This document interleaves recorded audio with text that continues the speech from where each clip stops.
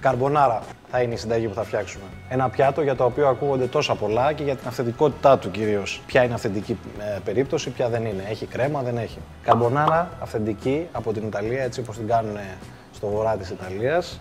Έχει αλαντικά, αυγά, ζυμαρικά και παρμεζάνα.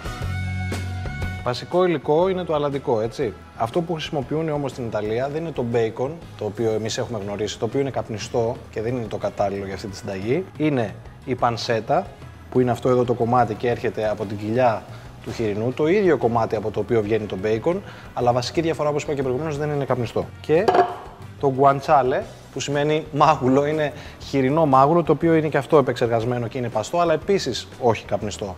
Το τονίζω το καπνιστό, γιατί το καπνιστό είναι ένα έντονο άρωμα που αλλάζει τελείως τη γεύση στο φαγητό. Οπότε, αν θέλουμε να πλησιάσουμε την αυθεντική συνταγή, θα χρειαστεί να χρησιμοποιήσουμε κάποιο τέτοιο αλλαντικό. Πάμε όμως να ξεκινήσουμε με το ζυμαρικό, που είναι σπαγκέτι και αλάτι στο νερό που βράζει και τα σπαγκέτι μέσα. Και να κόψουμε τα αλαντικά. Το γκουαντσάλε είναι πολύ λιπαρό, αλλά το λίπος αυτό το χρησιμοποιούμε και να μην ξεχνάμε ότι είναι ένα πιάτο το οποίο έχει προέλθει από ανθρώπους αρκετά φτωχούς που έφτιαχναν μια συνταγή με ό,τι είχαν. Προσεκτικά με το μαχαίρι πρέπει να είναι κοφτερό και επειδή είναι πολύ λιπαρό, βλέπετε πως έχει λαδωθεί εδώ το ξυλοκοπής, να προσέχετε να μην σας γλιστρήσει και έχουμε κάποιο ατύχημα. Δεν το κόβω από αυτή την πλευρά, έτσι ώστε να μην πάρω μόνο το λίπος, αλλά το κόβω έτσι, ώστε τα κομμάτια μου να έχουν και από το λίπος, αλλά και από το όσο ψαχνό υπάρχει. Ωραία. Και πάμε στην πανσέτα που θα κάνουμε ακριβώς το ίδιο. Ζεστό τηγάνι, προς το καυτό θα έλεγα. Και δεν θα χρειαστούμε κάποια λιπαρή ουσία, γιατί έχουν πολύ λίπος και τα δύο αυτά αλλαντικά. Και αυτό που θέλουμε εδώ είναι να αποβάλουν το λίπος τους και η παντσέτα και το γκουαντσάλε και να αρχίσουν σιγά σιγά να γίνονται τραγανά. Μια διαδικασία που θέλει λίγο χρόνο, δεν μην την κάνετε πολύ βιαστικά, έτσι ώστε να γίνει τραγανό και το δαγκώνουμε και έχει αυτό το λίγο λιπαρό, απολαυστικό πραγματικά και αυτό είναι που χρειαζόμαστε για να κάνουμε μια πολύ πολύ ωραία καρμπονάρα. Συνεχίζουμε με τα υπόλοιπα υλικά.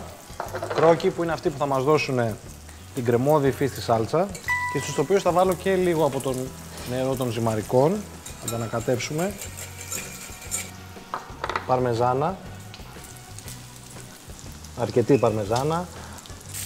χαμηλώσω λίγο τη φωτιά. Έχει αρχίσει να γίνεται τραγανό, να αφήνει το λίπος του. Όλο αυτό θα το χρησιμοποιήσουμε, δεν θα πάει χαμένο. Είναι σημαντικό μέρος της γεύσης αυτού του πιάτου.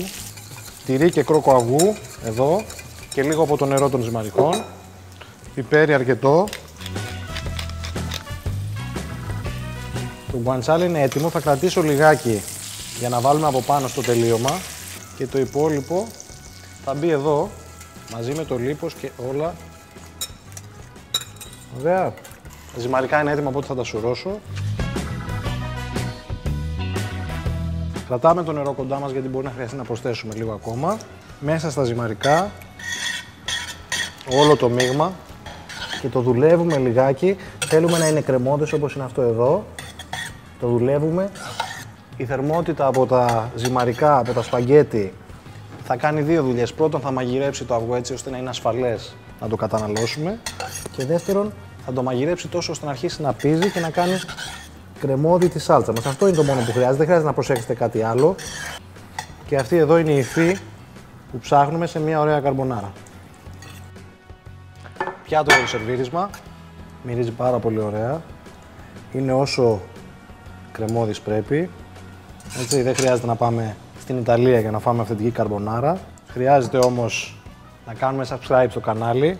Χρειάζεται να πείτε στο giannislukakos.gr για να δείτε τη συνταγή αν θέλετε γραπτά.